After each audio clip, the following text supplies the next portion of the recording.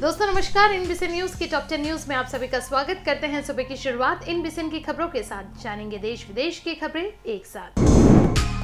आफ्ताब पूनावाला की जमानत याचिका पर अब होगी 22 दिसंबर को सुनवाई। श्रद्धा मर्डर केस, आफ्ताब पूनावाला को वीडियो कॉन्फ्रेंसिंग के ज़रिए किया जाएगा कोर्ट में पेश। दिल्ली के ग्रेटर कैलाश वन के फिनिक्स अस्पताल में आग, दमकल की पाँच गाड़ियाँ पहुँची मौके पर। हाईकोर्ट की कार्यवाही की भाषा हिंदी करने के लिए राज्यपाल ने लिखा राष्ट्रपति को पत्र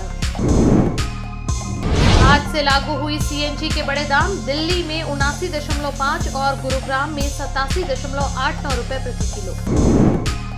तेलंगाना, मचियाल ज़िले के घर में लगी आग, परिवार के छह लोग ज़िंदा जले।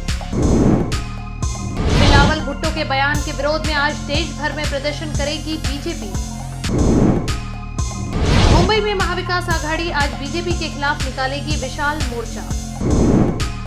सुप्रीम कोर्ट पहुँचा जहरीली शराब का मामला, एसआईटी से जाँच कराने की की गई मांग।